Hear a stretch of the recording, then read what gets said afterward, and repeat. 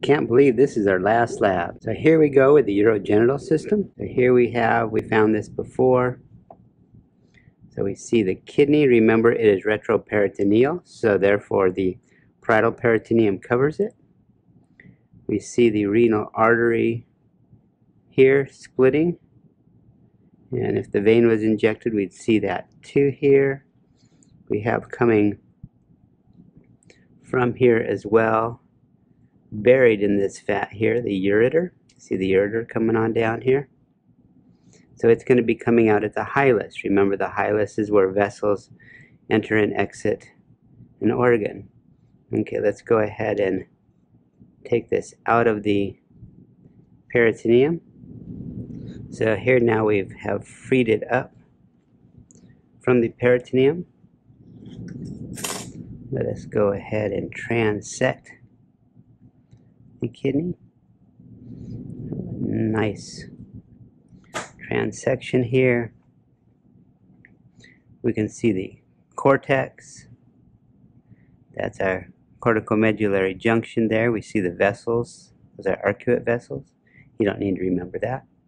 Then we have the medulla. You see it has a renal crest right here, dumping into the renal pelvis and then it goes down into the ureter. Pretty nice, huh? Okay. Remember, adjacent to the kidney is the adrenal gland here, and we've already transected that previously. So we can see here nicely the medulla and cortex. Remember, the medulla is involved in our fight or flight response and the cortex has several functions, the first of which is the secretion of mineralocorticoids, aldosterone. That's going to be the zona glomerulosa.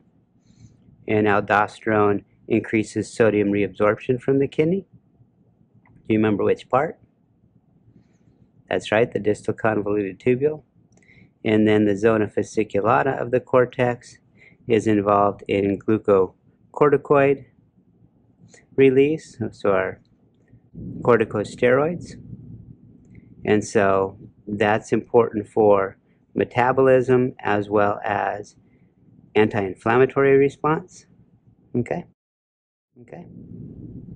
So if we follow the ureter down here, it's coming on down, and it's going to be coming around it's going to do a short distance through the mesometrium and then it's going to enter into the bladder here. This bladder is quite empty.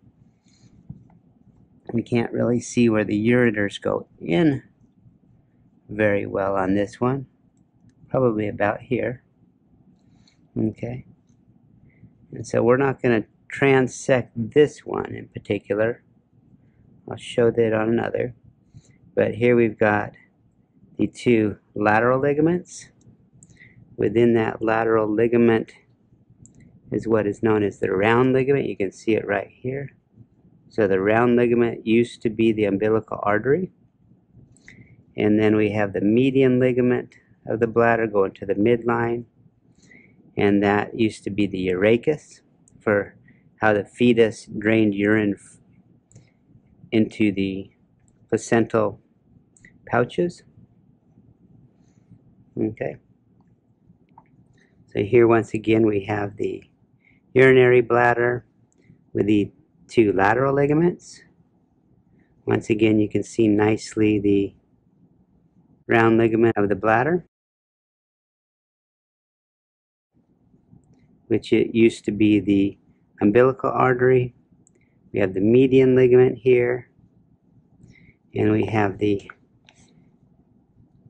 urethra heading up this way. Okay, if we were to cut open this bladder here,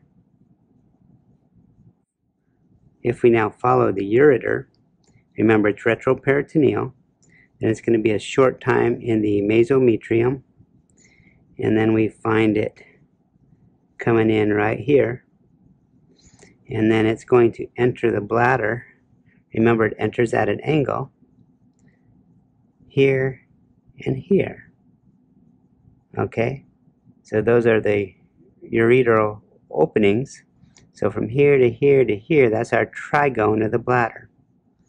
Okay, and so we've got the median ligament of the bladder, and we've got our two lateral ligaments of the bladder, and you can see in the lateral ligament very nicely the round ligament, which is the remnant of the umbilical artery. Okay.